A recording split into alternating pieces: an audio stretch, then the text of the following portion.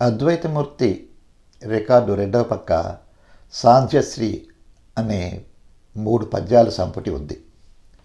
సాంధ్యశ్రీ అంటే సంధ్యాకాలపు వైభవం అని అర్థం అన్నమాట.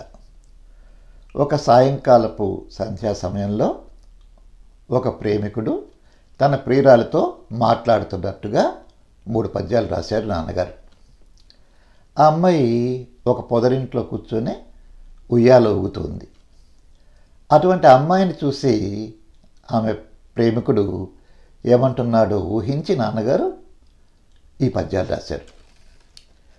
వాటిల్లో మొట్టమొదటిది అంజనరేఖ వాల్గదుల అంచులు దాట మనోజ్ఞ మల్లికా కుంజములు అనేది మొట్టమొదటి పద్యము. అంజనరేఖ వాల్కనుల అంతుల దాట మనోజ్ఞ మల్లికా కుంజములో సుధా మధుర కోమల గీతికలాల పిల్తు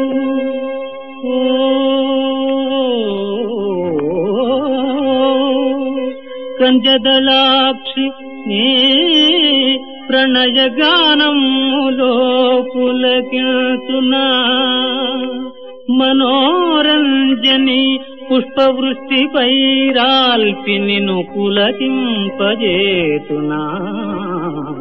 ఆ, ఆ, రెండవ పద్యము. కురుంజిగురాకు వ్రేళుల కురుల్ తడియార్చుచు కూరుచున్న అభ్యంజన మంగళాంగి జడయల్లుదున అని రెండో పద్యం. కృంజిగురాకు వ్రేళుల కురుల్ అభ్యంజన మంగళాంగి జడలల్లుదునా. మకరంద మాధురి మంజుల మామక ప్రణయ మానస భావనలే ప్రఫుల్ల పుష్పాంజలి చేసి నే అడుగులందు సమర్పణ చేసి కొందునా.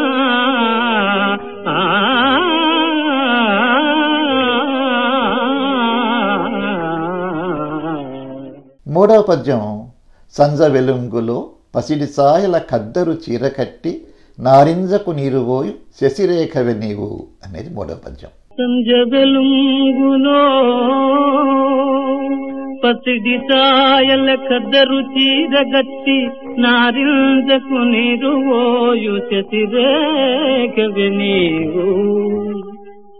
సంజ వెలుంగులో పసిడి తాయల కద్దరు చీరగట్టి నారిందకు నిరువోయు శశిరేఖవి నీవు.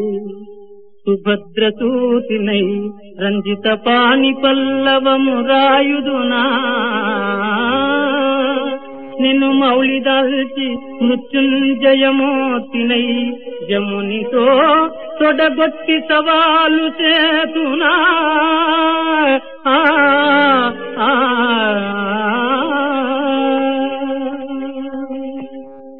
మూడు పద్యాలు కూడా ఉత్పలమాల వృత్తంలో నాన్నగారు రాశారు. ప్రాసస్థానంలో కూడా బిందుపూర్వకమైన జకారాన్ని వాడారన్నమాట. మూడు పద్యాలకు కూడా బిందుపూర్వకమైన జకారం వస్తుందన్నమాట. అంజనరేఖ కృంజిగురాకు సంజవెలిగ్గులు అన్నప్పుడు. ఈ మూడు పద్యాలకి చక్కని బొమ్మ వేశారు వడ్డాది పాపయ్య గారు. చాలా ప్రసిద్ధమైన చిత్రకారులు వారు. చాలా చక్కని బొమ్మలు వారు ఈ ఖండికకి వేశారు. అలాగే అద్వైతమూర్తి కూడా వారు వేశారు.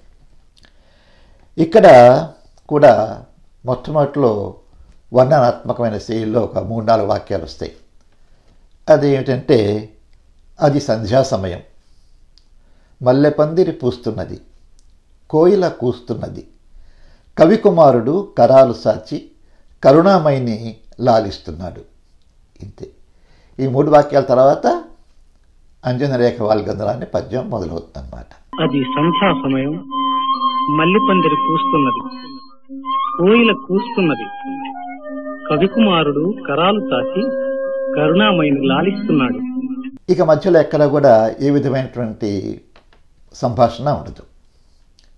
ఈ మూడు పద్యాన్ని చాలా అందంగా హాయిగా ఆలాపించారు ఘంటసాల వారు. ఏ పదాన్ని ఎంతవరకు నొక్కాలో ఎక్కడ తేల్చి పలకాలో బాగా తెలుసుకొని ఆ తాదాత్మ్యం పొంది ఆ పదాలతోటి ఆయన ఆ మూడు పద్యాన్ని మనోహరంగా ఆలాపన చేశారు.